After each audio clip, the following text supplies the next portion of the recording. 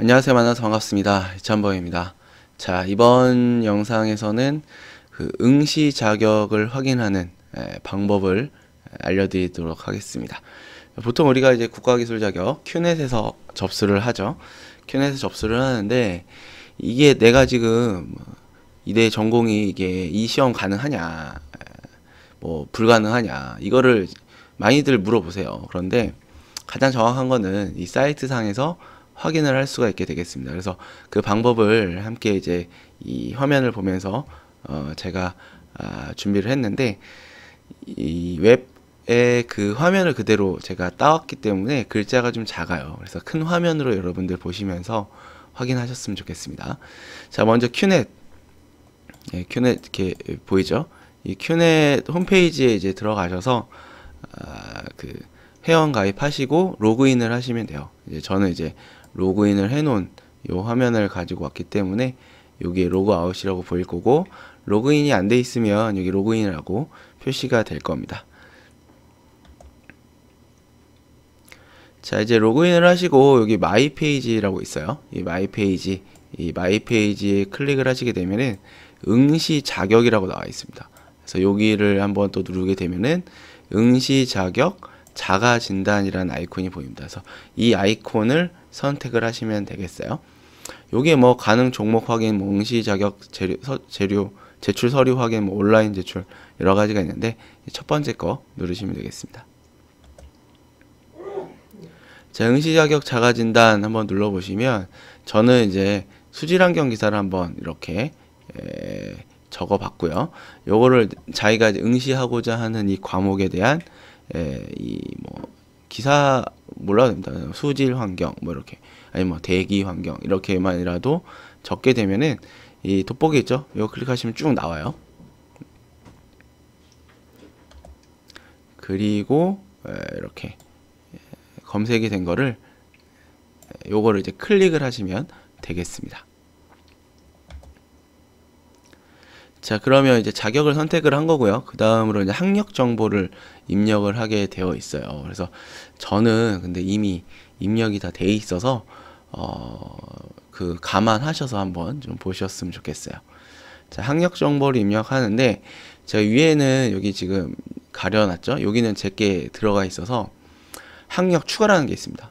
약간 이 서류 심사 전 이렇게 돼 있고 학력을 추가하는 란이 있는데 초기 화면이 이거랑 같아요. 그래서 이걸로 보시면은 학력 구분, 그다음에 학교 요거 눌러가지고 학교 선택을 하시는 거고 학력은 이제 뭐 전문 대학, 뭐 대학 뭐 이런 것들이고요.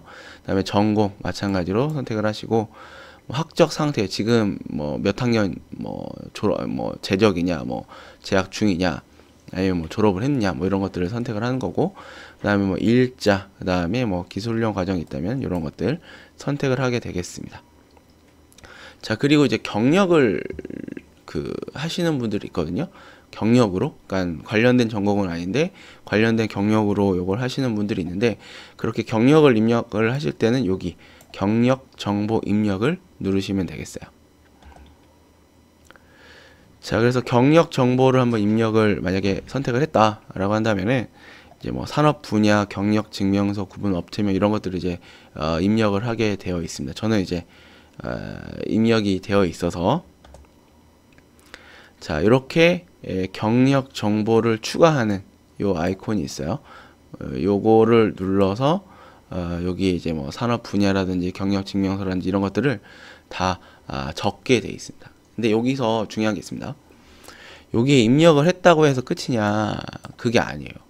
예, 여기는 서류를 제출을 해야 돼요. 그래서 근무 내용, 뭐 근무 시작, 근무 기간 뭐 이런 것들 다 적어가지고 요 양식에 맞게 작성을 해서 경력증명서 그 뭐 회사에 도장 찍어가지고 제출을 해야 됩니다. 그래서 요 한국산업인력관리공단에 뭐 서울이면에 뭐 북부, 뭐 동부, 서부 다 있거든요.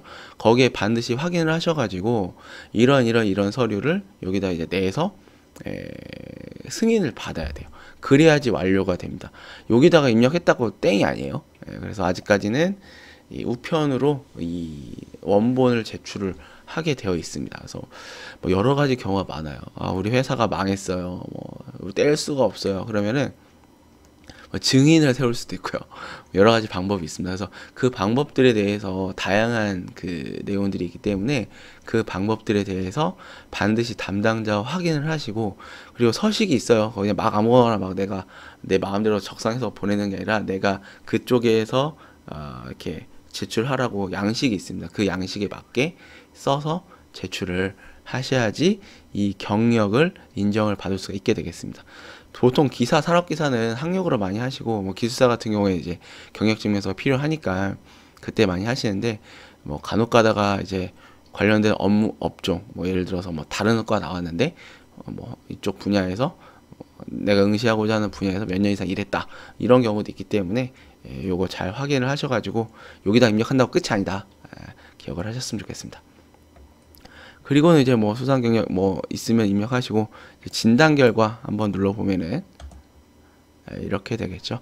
저는 이제 관련 대학 그다음에 관련된 정 어 이 실무 경력 4년 이상 다른 기사 자격증이 있고 어 합니다. 그래서 이것도 자랑 같은데 그게 아니라 관련 학과를 나왔고요. 예, 환경 분야 관련 학과를 나왔고 그 다음에 그 뭐 동일 분야 4년 이상 근무한 이 경력이 이제 제가 제출했기 때문에 요게 이제 가능으로 바뀐 거고 예, 그리고 뭐 다른 종목에 유사 다른 종목에 기사 이상이기 때문에 여기도 이제 뭐 가능으로 어, 나왔죠. 이 중에 저는 이제 뭐 여기 네 개가 있는데 뭐 이 중에 하나라도 가능이다라고 하면은 여기 응시 가능이 이렇게 예, 보입니다. 근데 여기에 만약에 에, 가능이 아니다 그러면은 이, 불가능한 거예요. 그, 그 종목에 한해서는 그래서 뭐 밑에 뭐 다른 여러 가지 조건들도 있기 때문에 요 내용을 에, 보시고 최종적으로 에, 선택을 하시면 되겠습니다. 학력 같은 경우는 이제 그 졸업증명서나 이런 것들을 온라인으로 제출을 하게 돼 있어요. 여기 보시면 온라인 제출이라고 되어 있죠. 이것도 이제 뭐 다른 영상에서 제가 한번 아, 보여드릴 텐데 요거는 그, 요 아이콘을 클릭을 하시고 또 이제 접수하실 때 그 뭐 관련 서류를 대학에서 바로 공단으로 쏴줍니다. 물론 이제 돈 내야 돼요. 예, 그래서 그런 부분이 좀 있고요. 어쨌든 간에 뭐 가장 많이 물어보시는 내용들에 대한 해결 정확한 아, 방법은 요 어, 루트를 통해서 어, 확인을 하시는 게 좋을 것 같습니다. 자 그리고 이제 한번 이렇게 입력을 해놨잖아요.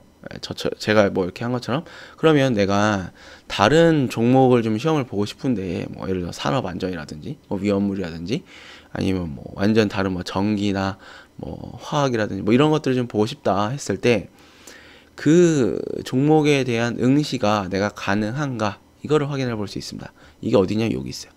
응시 가능 종목 확인. 그래서 얘를 클릭하시면 요 화면이 나오게 예, 되겠습니다. 그 다음에 내가 이제 골라요. 내가 하고 싶은 거, 뭐, 기술사, 기사, 산업기사, 기능사, 뭐, 있고, 여기 클릭, 저, 어, 검색하셔가지고, 요 선택을 예, 하게 됩니다. 그리고, 뭐, 하나를 뭐, 이제 클릭을 하는 거죠. 다음 눌러요. 그러면은, 뭐 학력 정보 입력, 예, 똑같습니다. 예, 뭐 학력과 경력은 제가 앞에서 설명드린 그 내용으로 똑같고요.